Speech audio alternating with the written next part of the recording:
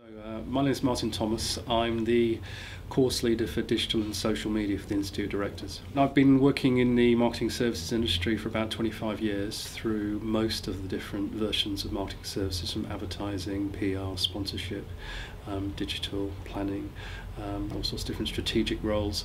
Um, I've written a couple of books over the last few years exploring how organisations are dealing with new patterns of behaviour, often driven by digital. Um, and obviously the challenge is really how different organisations, institutions are coming to terms with you know changing expectations, changing behaviours.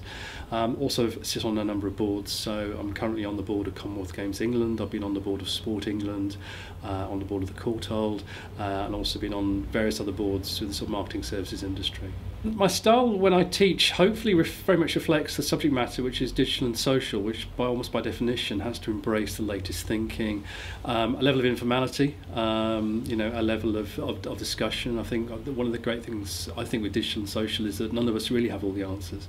Uh, we're still learning, uh, you know, what, what success looks like. Um, one of the things I often say is that we've had commercial television in the UK for over 50 years, and we're still arguing about what makes an effective TV commercial.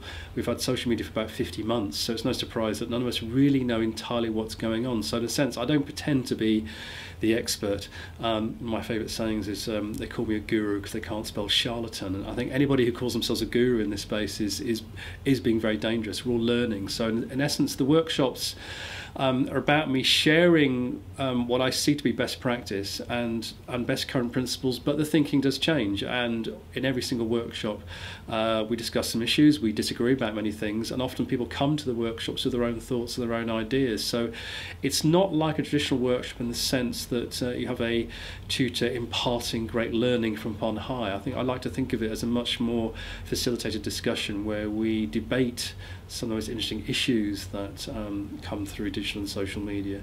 Uh, we debate what good practice looks like. Uh, I think it lends, it lends to a much more interesting, um, interesting learning experience. Um, the great thing about um, the teaching, actually, I, I find is, is the discussion. I actually, um, embarrassed to say, I, I probably learn as much as some of the delegates attending the sessions. I think it's that wealth of discussion.